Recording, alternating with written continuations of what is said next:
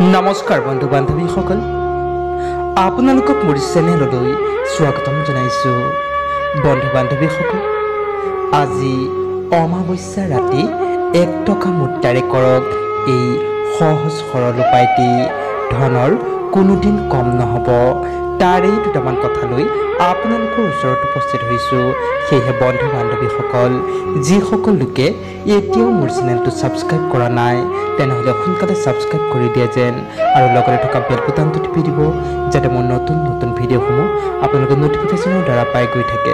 তেন্তে আহক বন্ধুসকল আমি ভিডিঅ'টো আৰম্ভ কৰোঁ। বন্ধু বান্ধৱীসকল অমাৱস্যাৰ কালীন ভগৱান বিষ্ণু ও মা লক্ষ্মীক পূজা প্ৰাৰ্থনা কৰিলে অত্যন্ত শুভফল লাভ কৰিব পৰা যায়।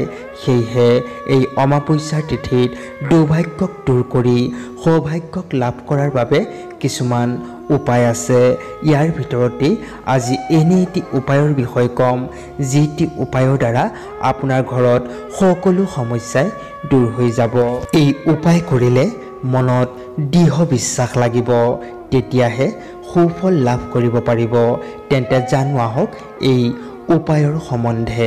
বন্ধু বান্ধৱীসকল এই অমাৱস্যা ৰাতি আপুনি শোৱাৰ আগতেই একটকীয়া মুদ্ৰা এটি হাতত লৈ ভগৱান বিষ্ণু ও মা লক্ষ্মীক স্মৰণ কৰিব আৰু সেই মুদ্ৰাটি গাৰুৰ তলত ৰাখি শুই দিব।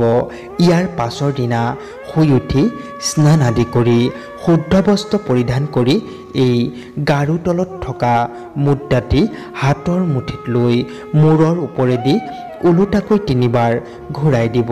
ইয়াৰ পাছত ঘৰৰ ওচৰৰ যিকোনো এটি মন্দিৰত দান কৰি সেৱা ভক্তি কৰিব আৰু আপোনাৰ মনৰ ইচ্ছা কথা জনাব। দেখিব আপোনাৰ মনৰ ইচ্ছা অতি শীঘ্ৰেই পূৰ্ণ হৈছে।